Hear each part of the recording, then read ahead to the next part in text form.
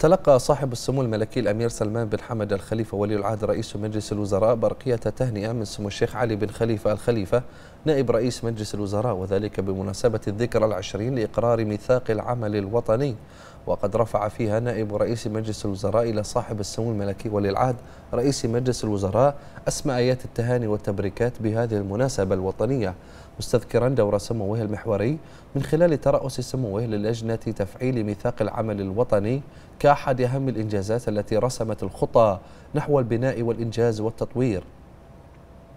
في هذه المرحلة الهامة من تاريخ البحرين الحديث. معاهدا سموه على المضي قدما في مواصلة العمل إنفاذا لهذه الخطى السديدة للنهج الثابت الذي أسس له حضرة صاحب الجلالة الملك حمد بن عيسى الخليفة عاهل البلاد المفدى حفظه الله ورعاه لما فيه خير وصالح الوطن وأبنائه والتي تمثلت في انطلاق المسيرة التطويرية الشاملة في العهد الزاهر لجلالته.